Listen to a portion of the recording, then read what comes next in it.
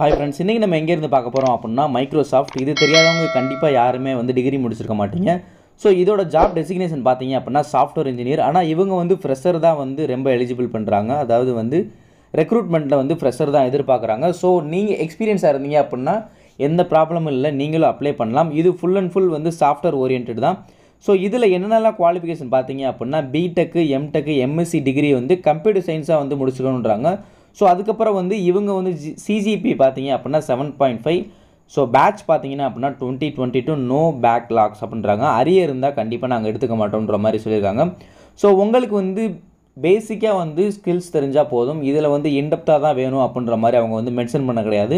So நீங்கள் சொல்லிக் கொடுத்தா புரிஞ்சுப்பேன் அப்படின்ற மைண்ட் செட் இருந்தாலே போதும். ஆட்டோமேட்டிக்காக அவங்க வந்து ட்ரெயின் பண்ணிடுவாங்க.